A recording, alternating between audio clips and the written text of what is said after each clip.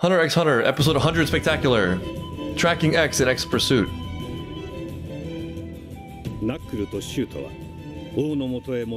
I support Knuckle and, and Shoot on their move to capture Cheetu. Cheetu. It's gotta feel so much better just actually doing something than sitting in their treehouse, nests, whatever it was.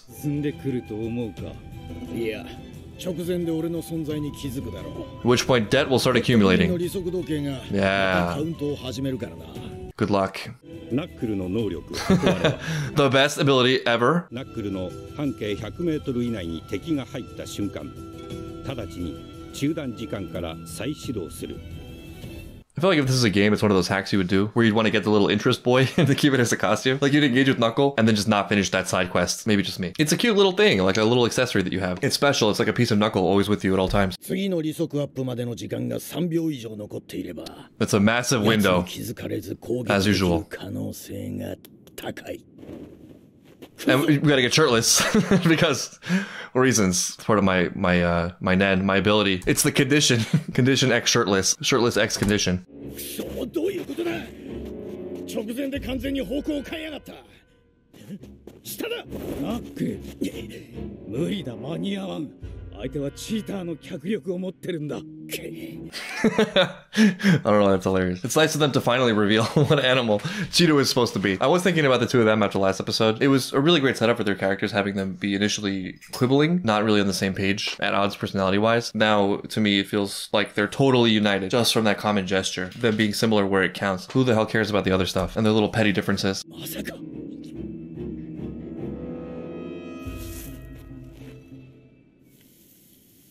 smell. Not Nan. Animal Man. Oh. Oh, we got a narc. Oh, no. But also, yes. Oh, no, I don't know how to feel about this. Oh, whatever. Bring it on. Rat.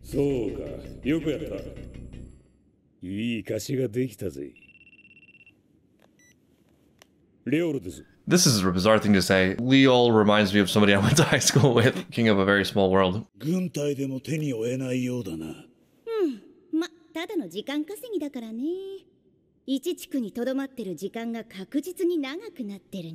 What's always been so terrifying about Neferpitou is the fact that she just seems to be having a great time all the time. All this is just a like game, like a childhood game.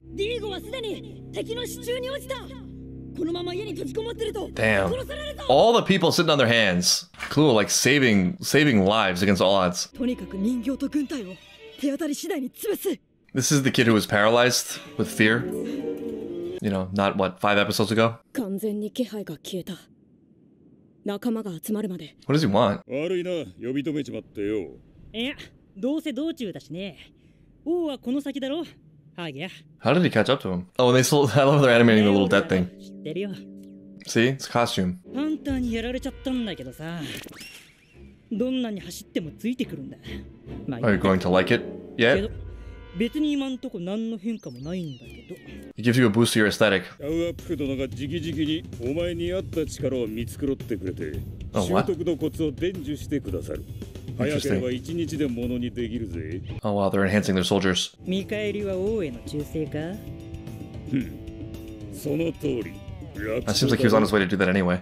ま、借りができたし、仕方ないか。それにしても、相変わらずお前、美味しいとこだけ持ってくな。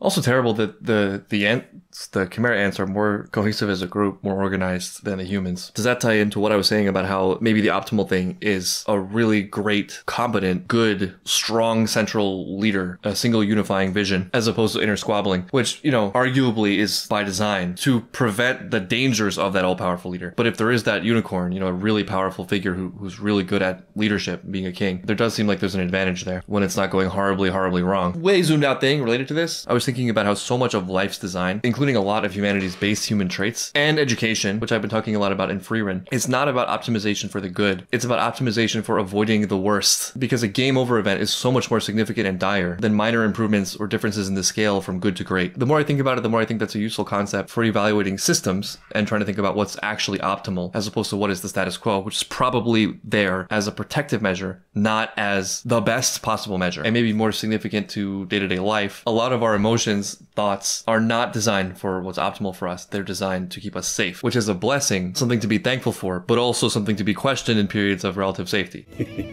当然だろうこれでも元は百獣の王だ You mentioned it. 完全に俺をマークしてるなあの距離じゃヨーヨーも全く届かない Most important metric, yo-yo range. 幾重にも葉が重なって上空からは地上が全く見えないはず低空で追ってきたらヨーヨーで迎撃できる Most important metric, yo-yo range.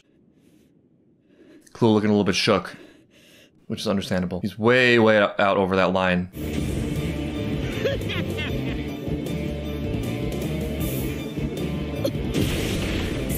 what, what, what are these things? Yeah, yeah, this is fodder for Killua. Yeah, Squid just gets the kill mercilessly. Damn. What the hell? Yes. It's amazing. Good. Good. it's so terrible and so great at the same time. Whoa, where did this come from? What just happened? That was not his strike. Why does it feel like such a long time coming? It's episode 100, and we know Killua is an absolute monster. but like so many things have kept him at bay. It's so cool to see him just let loose. Finally, this is what I wanted at the beginning of the arc. It was a short scene, but that was really well done. And thematically for Killua and the whole family thing, his abilities work in in thematic tandem with the family drama. The things he's learned, his history, his tools, his skills, they're all connected to something he's trying to spiritually escape. But I think the cool thing about that is that in real life, the things you identify in yourself that you hate, that you got from your upbringing, a lot of the time have a very strong upside once you stop being dictated and controlled by them. When things stop becoming reactionary and they just become tools at your disposal, you might have the experience where you realize what a gift it is. Speaking for myself, I would say my household was very intellectually combative. Or it's something like there was a cynical color to a lot of my childhood discussions. And early on, I think that translated into me kind of just adopting that as a package and being very combative, being sort of jaded, cynical, contrarian for the sake of being contrarian as opposed to a way to explore other ideas, to find truth. And those absolutely still come out as flaws now and then. But having grown up to become more increasingly aware of these things, they become a little bit more like on off switches. I don't have to use them, but that creates this really cool freedom where it's like fun to use them. And I appreciate what I went through, even the numerous missteps along the way. That's a lot to read into this scene of Killua demolishing some ants, but I think that's maybe what part of what makes it so emotionally impactful. Like Killua got all this stuff through blood, sweat, tears, and daddy issues or brother issues. But having moved past that, having removed the, the pin, he's got all of that. Plus, he's a good person. And like, he's literally using this to save people. He's fighting the like the biggest threat to humanity there maybe ever was. And he looks so cool doing it. Is that what that was?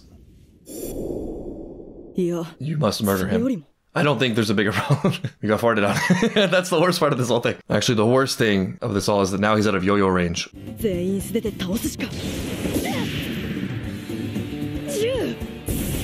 Did he just, Yaku just survive a gunshot? Okay.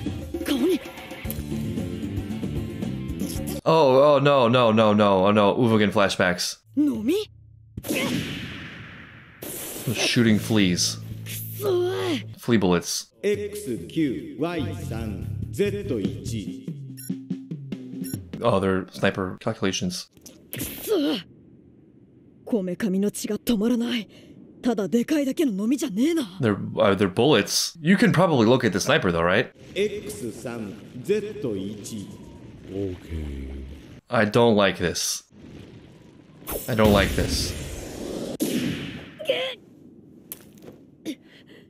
明らかに狙撃でのダメージが目的じゃないむしろその後出血による体力の消耗が狙いか Wait till he finds out it's from his testicles. Testicle fleas were not on my was not on my bingo card for this episode, but here we are. From the great mind that brought you Pike's butthole and Skinhole Man comes flea testicles. おいらの飲みは特別性だぜ He just has fleas. お He dodged it. もう避けるか You must know the trajectory now. Look, if Gon can f- figure out echolocation on a whim, you can figure out triangulation. 敵のお手並み拝見といこう OK I mean, how, how fast can this guy run with this giant testicle sack? 銃弾が57センチの領域に踏み込んだ瞬間絶望的といえる短い猶予の中 We'll take it. It's enough. だが今度は避けなかった弾道の角度を正確に測るため He is strangulating with his face. ターゲットが高速でそっちに移動してるぞ OK Okay.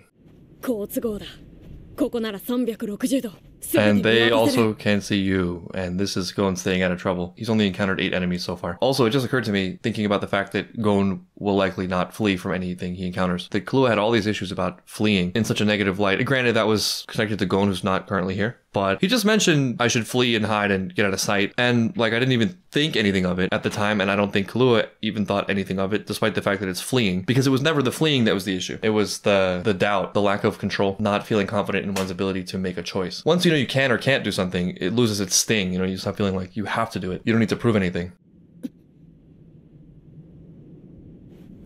First comes Rock.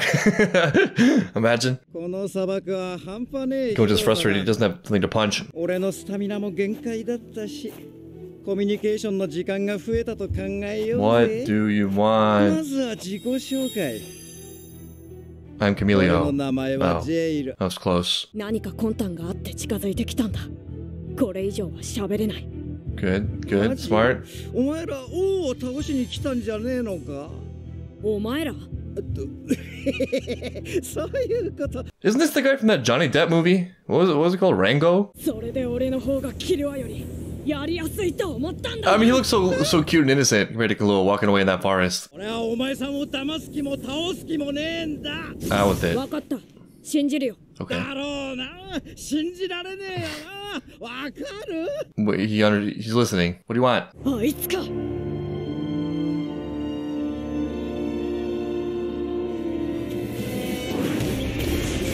know, just destroy him. Please end this character. But he's got backup.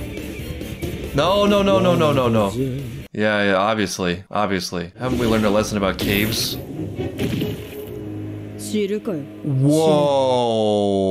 That is amazing. Alright, he's also got octopus or squid or something. Oh no. Oh, this is the squid thing. This is real form.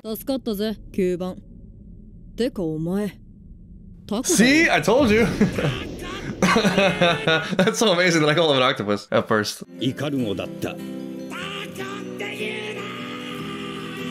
Just when I thought it couldn't get any worse, this guy got fleas and testicles, and he's a parasite. His design ends up being kind of cute though. Why do I feel like based on his demeanor and the way they're setting him up, he's not a total enemy? Damn, that episode was just a showcase for, Killua. Wow. It's always been there as potential, but I feel like this is one of the best action moments from Killua, if not the best I've seen so far in this show. And it feels good, extra good, considering all the emotional weight of his journey this season, this arc.